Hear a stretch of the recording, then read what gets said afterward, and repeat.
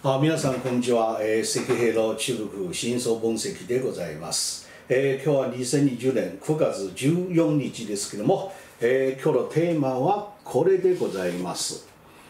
中国人教授の地球滅亡計画から見えてくるものということですけども、えーそれはどういう話なのかとなりますと、えー実はあの今月の12日にあの中国国内のある大学であの教鞭を取っているあの教授ね、えーこの人物があの自分のブロックにおいてかなりびっくり仰天するようなことを書いたんです。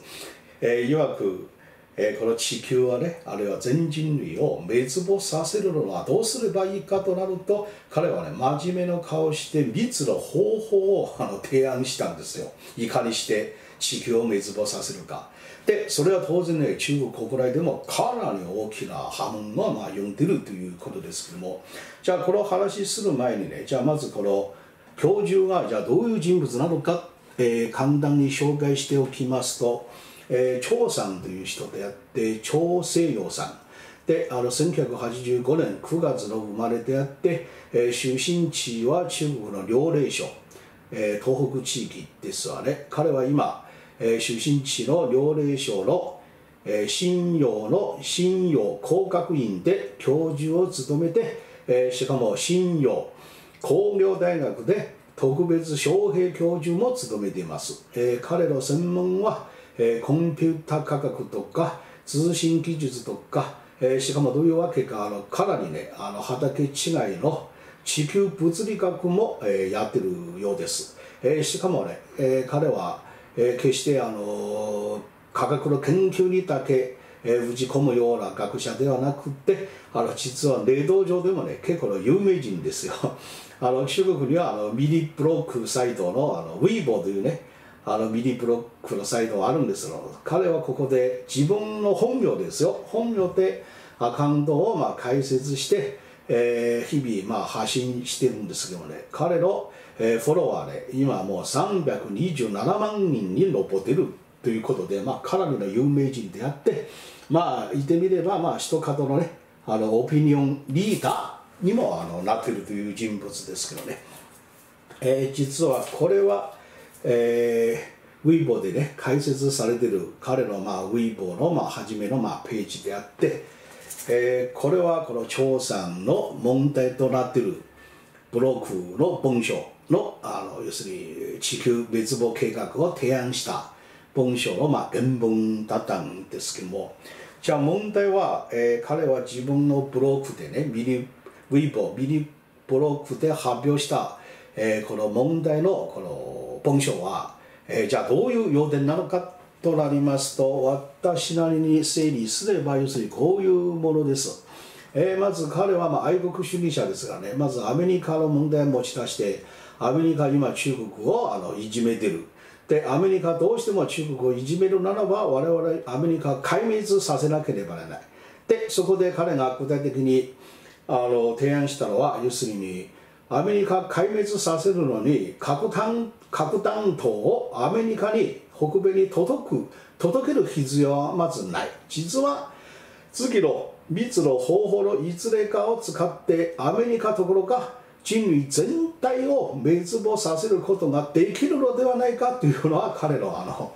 まあ、提案で、まあ、提案ですので、えー提案の維持が、えーどういう方法なのかとなると、えー提案の維持が太平洋の中で大量の核弾頭を同時に爆発させることによって、えー2000メートル以上の高さの津波を起こして、えーそうすることによってチベット高原以外の世界中の陸地を水没させることができる。まあ当然人間がこれでみんな死んでしまうんですがまあそれは方法の一つ、えー方法の二つ目はシマラヤ山脈中国とレバルとかインドの間のね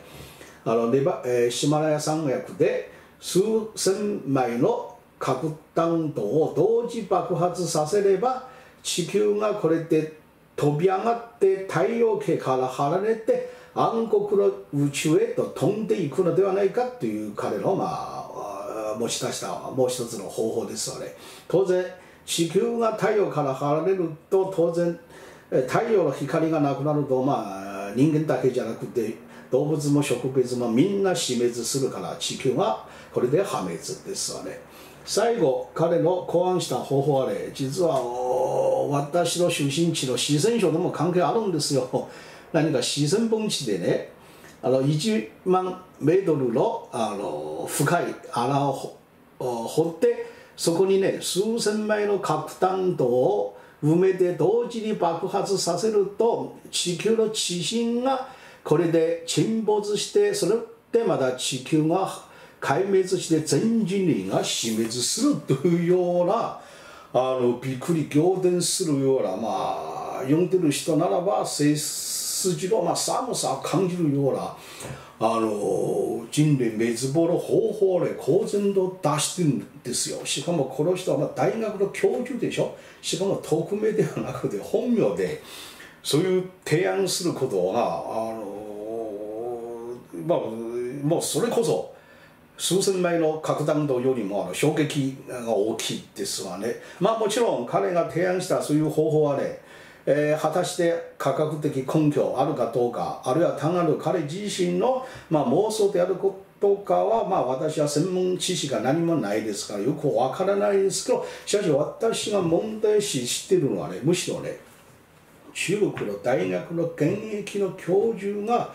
自分の実名を出して堂々とねあの地球人類を滅亡させるのにそういうさせるのにそういう方法あるよっていうね公然と発表するということがそれがねあまりにも衝撃的なものでだろうと言いますよ。であのおそらく彼自身もこの、えブログを書いた後ですよやっぱり自分自身も何か引き目を感じたよって後になって彼は自分のブログをこの文章をブログからま削除したんですけどもでも他の人々がすでに大量にそれをコピーしてあちこち拡散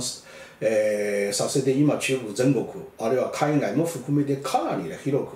えー、拡散されてるんです。で実はねこの張さんという教授はねあのよく私も多少調べてみればあの彼の問題発言ねこのブロックの文章だけじゃないんですよ。例えば9月に入ってからもですよ。彼の問題発言は例えばそういうものがあったんです。あのブロックでの問題発言はね。例えば9月7日彼は台湾の蔡英文騒動にあの言及した、えー、彼は曰く台湾の蔡英文は凶悪にして陰険な女だ。彼女に対する唯一の有効対策はすなわちそのいる頭を切り落とすことだというふうに、まあ、暴言がまさに暴言が入ったんですわね。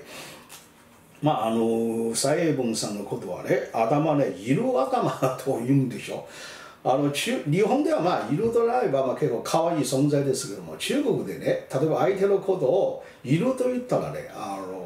これは侮辱という話になるんですから。で要するに蔡英文さんまあ女性でしょ。女性に対してお前の頭がいる頭ですよ。しかもそれを俺たちは切り落とすよ。というようなね。あのまあそれ以上まああのもうないというようなあのああまりにも悪質な暴言が堂々と吐くんですわな。あるいは9月8日には日本に対しても暴言を吐いたんです、えー、その日はね確かに台風10号がまあ日本の九州を襲っただろうと言いますけどね。そこで彼がどういうことを書いてるかというと台風が日本を襲ってるようだ。安倍晋三が病気だからそれは神様からのお見舞いじゃないかというふうに書くんですわね。まあそんなあのセリフはねまあ安倍首相に対する侮辱だけではなくてある意味ではね要するに日本国民の苦しみみんなね多くの人々が台風で苦しんでるのにそれをあのあざ笑うというような、まあ、結構悪質なそういう暴言ですわな。あるいは9月の10日にね彼はさらにそういうアメリカの西海岸の火事ご存知のように今アメリカの西海岸で大火災がまあ発生してるんですけど彼が何が言ったかというとアメリカの西海岸が燃えてる。しかし我々からの懲罰は終わったわけではない。我々の生き取りに怯えよという話をアメリカ人に対して投げつけたんですわね。まあ本来ならば西海岸のあの火災はね自然災害でしょ。自然災害までネタにしてあのいやそれは我々から懲罰だよ。お前たち怯えよというようななそういう言い方ねあのまあ考えてみればもうあの普通の成長なる社会ではもう絶対許されないということ。ということが要するにこの長教授でもう霊道上でももう暴言をねとんでもない暴言を吐くあのあの常習犯であってしかもねあの世界を人類をいかに滅亡させるかということまでね具体的方法まで考案して書くというのはねもうどう考えてもこの人はねもう狂気ですよ。もう反人類反人道的なまあ、えー、そういう人物です。問題はここですよ。この張さんという教授の問題はただ彼一人だけの問題でであるどうかという話です。まあ、そこはね実はね私はまさにねこの張さんが9月12日に発表したとんでもない地球滅亡計画と、まあ、彼がず今まで常にとんでもない暴言を吐くという現象からね実はいろんなことね私なりに見えてくるんです。じゃあそれはどういうことなのかとなりますと一つですよ。あのそこから分かってきたことが要するに超教授のそういうような反人類的反人道的狂気の言論に対して中国政府の当局が実質上でそれを黙認しているということです。いやそれが事実です。というのはまあ皆様ごもご存知だろうと言いますけどね今の中国こそねおそらく世界上でね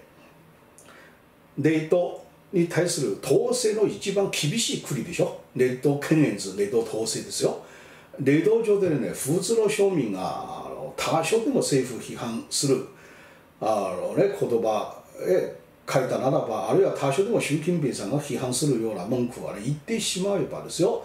時にはねもう1時間以内にねもう警察がもうやってくるんですよ、まあ、徹底的にあの取り締まられてるんです。しかし問題はこの人の言論あの人類絶望計画も含めてあの日本の台風を喜ぶ西海岸のアメリカ西海岸の火事をねネタにするそういうような暴言に対してですよ。中国政府は一切とあの取り締まりはしてないです。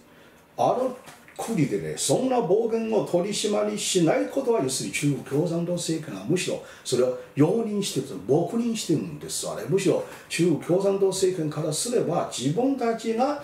政府の立場で言えないことをこいつが言ってくれて本当に気持ちよかったというような話なんですあれ。あるいは中国共産党政権からすれば時々にねそういう人に冒険を吐かせることによってアメリカに対しても世界に対しても一種の脅しにもなるからだと中国政府がわざとねそれ彼のそういう暴言を野放しにしてるっていうまずこれは一点です。もう一つね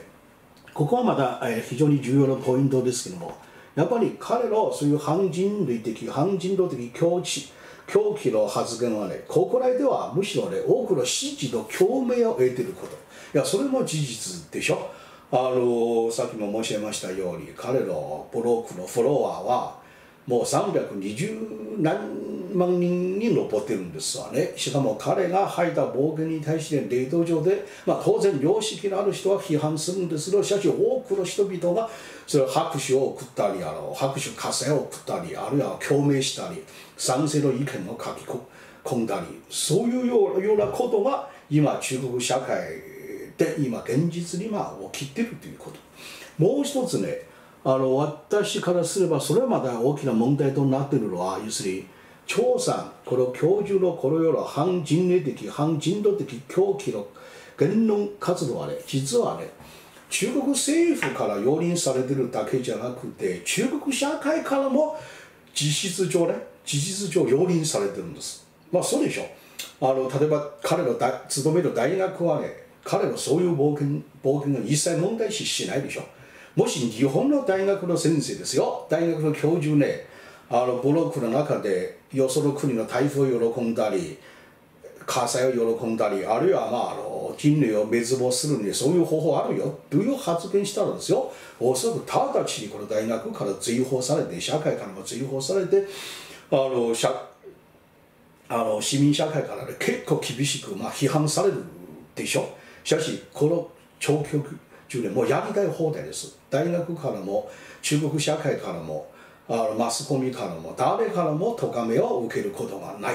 あの暴言がもうあのやりたい放題でもむしろそういう狂気の人はね中国社会を割烹しているというような状況ですよ。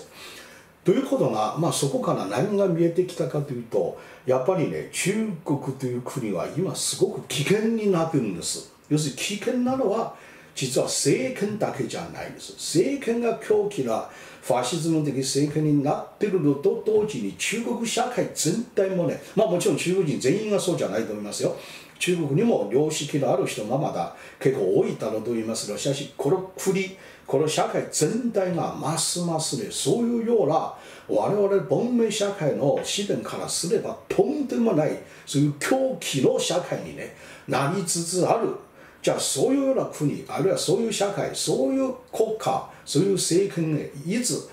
何がやりだすかもうわからない。ある意味では地球全体にとってそれこそ一番最大の脅威になってるのはまあ中中国という国ですよね。もちろん大半の庶民たちは何の罪もなく中国にも多くの良識のある人がいるんですけどしかし私は言ってることはあくまでもこの国全体が危険な方向へ走ってるんです。まあ要するにあのナチドイツの,、ね、あの最後の、まあ、40年代のナチドイツのようであの国全体が別ドイツ人ドイツ民族がみんな悪者になったわけでもなくしかしあの国家全体がもう大変危険なそういう体質になっていることは今中国でも同じような現象が、えー、見えてきたらまさにこの張さんの、えー、一連の発言と中国社会中国の政権の彼のこの発言に対する態度からねあの深くあの見えてきたものはまさにこれそういうことじゃないかなというのはまあ今日の話の、えー、ポイントでございます。最後ね、まあ、余談になるんですけど一つの、えー、この番組に関わるエピソードをまあ紹介しますと、えー、実はあの時事通信社、まあ、日本が代表する大通信社の一つです。けどもこの時事通信社は9月の12日にですよ。あの中国の習近平首相と李克強首相の確執に関する記事を掲載したんですよ。タイトルはそのまま習主席と李首相の確執の手不可解の公式報道相づくという話。例えばどういう話書いてるかというと、え兆候要するこの水害対策などを視察するため習氏習近平は、えー、8月18日21日に暗記賞を李李首相は同じ、えー、20, 20日と21日に中継市を訪れた。えー、しかし最大の公式メディアである国営通信社新華社は18日から連日習主席の暗記視察を、えーえー、報道したんですけどもしかし李氏の重慶視察は23日まで報じなかったということをも書いてるんですけどで、えー、私のこのレド番組ご覧になっている方々がまあ当然ねこの記事をもしおお読みになるとあれどこかで聞いた話なのかと思うでしょ？いやそうですよ。この話ね私のこのネット番組でね8月25日に取り上げてあの皆様にお伝えしました、えー、まあその時の、えー、私が出した一枚のねこのあのフリップですけどねあの李克強の重慶電撃視察とか、えー、新華通信社 CCTV の黙殺とか、まあ、そういう話を、ええ、から私は当時李克強さんと習近平の権力闘争の話を、まあ、皆さんに伝えたんですよ。それはね8月25日ですよ。しかし、まあ、そこからね、まあ、2週間以上経って9月12日にやっとね日本の大通信社が同じことを書き始めたんですよ。まあそこは自慢話になるんですけども要するに私という一個人はね結局ね日本の大通信社よりももう、えー、2週間以上も先経ってる中国の真実を、えー、皆様にを伝えることができたということがまあそれが私自身があ結構ねあの誇りにあの持っておりまして、えー、最後の要談としてそれ皆様にお伝えいたしました。まあこのような、えー、番組ですからぜひとも、えー、今後皆様まだあの引き続き、えー、ご視聴のほどよろしくお願いお願いいたします。また、えー、最後のお願いですけども、えー、だにこの番組に登録チャンネル登録されていない方がもしよければぜひご登録いただければ、えー、幸いと存じます。今日またありがとうございました。今後ともよろしくお願いいたします。